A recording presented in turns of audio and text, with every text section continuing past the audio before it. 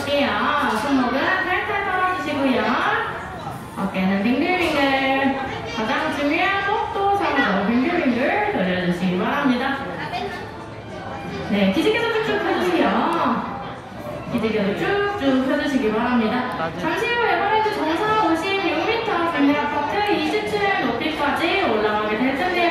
마음의 준비 단단히 해주시고요. 네,